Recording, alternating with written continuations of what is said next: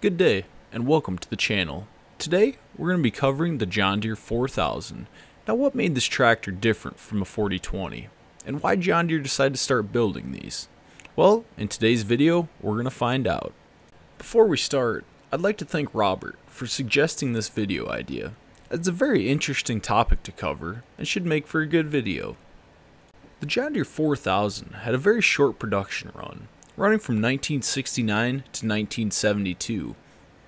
But in those four years, they'd pump out 7,987 total units. With the common phrase of this tractor being referred to as a 40-20 front end and a 30-20 rear end, we'll dive into why this was and what actually made this an economical tractor for the time. Taking us back to the 1960s, the John Deere 4020 was a success, no matter how you look at it. The 4020 had brought John Deere to the lead in the market, topping other tractor brands at the time.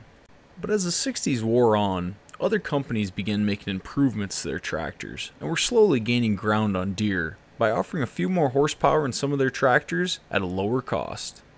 Now to combat this, John Deere looked at their lineup and realized there was a large gap of 25 horsepower and almost $2,000 between their own 30 and 4020s.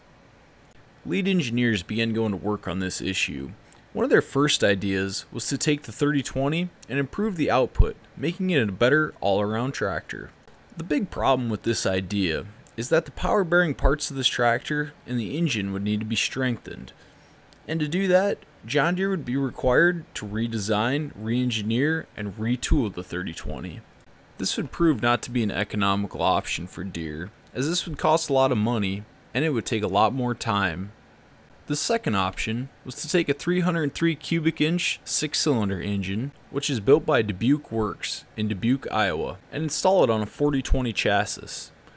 Now, these engines were capable of about 80 horsepower or more, which would fit them in perfectly between the 30 and 4020. This would have worked fairly well, except the Dubuque engines were a bit expensive, and it would also include an extra shipping cost bringing them to Waterloo. The final idea came to make the 4020 lighter and cheaper. Minimizing some of the features on the 4020 could substantially lower the price and the farmer would benefit from having the same basic capabilities of a full spec 4020. And with this idea, the John Deere 4000 was born. Now John Deere could use many of the same toolings to make the chassis for this tractor as they were the same as the 4020. The main thing John Deere didn't change on this tractor was the engine. The six cylinder 404 cubic inch engine produced 91 horsepower at the PTO. It was very efficient and smooth running with proven reliability. Where we start to really see some differences between the 4020 and the 4000 is in the transmission. Now much like the 4020, the 4000 would come with the option of a synchro range transmission. But the main difference would be the 4000 would not have synchronizers in its reverse gears, now this meant that operators had to come to a complete stop before shifting into reverse, whereas with the 4020, it would have synchronizers. Now this would be a minor inconvenience for farmers, but this transmission was cheaper and easier to build, and it actually became so successful, John Deere used units like this up until the late 1980s. Another similarity between the 4000 and the 4020 would be the clutch. The clutch would remain the same, now another change is getting this power to the ground. The 4000 used 9.5 by 15 inch front tires and 16 934s in the rear. Compared to a 4020, this would make the 4000 sit in half an inch lower. Moving on to the electrical system, John Deere would change it from a 55 amp to a 35 amp Motorola alternator. Now the instrument panel would look a little different too, but nothing too major. One cool fact is that the 4000 dash lamp, it's unique to this tractor. With a built-in ground wire, it only fits the 4000. Another big change here would be the batteries. To save a few dollars, they got rid of the cover that protected the batteries and just left the trays open on 4000s.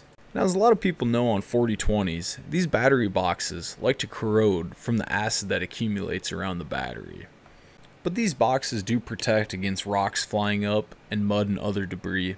Now to save some more money in the electrical side, only one light would be installed on each fender. They would also go on to change the tach. giving the 4000 a double needle tachometer. Now in the rear end is where we really start to see some changes. And what really sticks out is the axle housings being a little smaller. Now this rear end is closer to a 4010 than it is a 4020, going back in time a little bit and using some of that old technology. Another thing that looks different is the seat suspension. It's a little bit cheaper model and easier to produce. They also decided to remove the covers that cover the rock shaft. Now on the hydraulic side of this tractor, many things were the same, but this 4000 would come with only one selective control valve. This would go on to be changed by a lot of operators, adding on a second one, and was also offered by a lot of dealerships as an accessory. Now the 3-point hitch is a little different story. The 3-point hitch uses the same 3-point as a 3020 does. Now the main ad campaign for Deere on this tractor would be that you could use your old equipment but work it faster.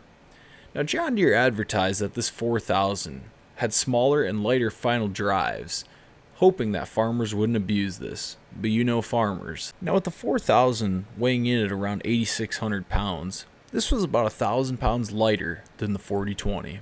It was considered to be a four plow tractor, but fast enough to cover the same acreage as a John Deere 4020 with a five bottom plow. After its first year in production, there was nearly 1800 tractors out and sold on the market, being received fairly well by the farming community. But in 1970, John Deere decided to introduce a gasoline engine version. This would also bring us one of the rarest John Deeres ever built. This would be the John Deere 4000 Gas Power Shift. With only 9 of these made, it's no surprise that they bring a large number. One of the most recent ones that sold in 2019 was a 1972 model that sold for $64,500. Now, the main reason farmers wanted a gasoline model is so they wouldn't have to worry in the winter about starting it up or having to plug it in. Now, a couple other things John Deere added in 1970 was a differential lock, as well as an electric horn and a coolant heater. With 1970 being a tricky year for farmers and the economy down, 1939 4000s were sold, and that's about 10% of how many 4020s were sold that year. With the following year approaching, of 1971, John Deere decided to add the power shift as another option for the 4000. Another thing Deere did was have factory dual hydraulics, which was big for anyone running a loader or implements. And by the end of 71, the 4000 was selling roughly 25% of what the 4020 was selling. And by 72, things would get even better. Now, 1972 would be the last year of the John Deere 4020 and also the last year of the 4000. And now these later model 4000s had almost every option that the 4020 would have. Buyers could now get a factory cab put on their tractor that would include a heater and air conditioning. It was also in 72 that the 4000 low profile came out. Now this is more of an orchard style tractor the low profile version of this machine would feature the exhaust coming straight down out of the hood instead of up through the center. It would also feature a 30-20 steering column.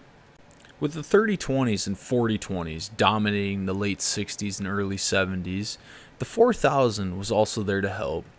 With four production years and nearly 8,000 tractors sold, this would go on to help keep John Deere on top and get ready for them to release the Generation 2 tractors, which would become the 30 series, being released in 1973. But that's a video for another day. If you guys enjoyed today's video, or have a tractor you want me to talk about, let me know in the comments, and I thank you all for watching. Your likes and comments really help the channel, and I appreciate everyone who subscribes. Anyways, have a good day.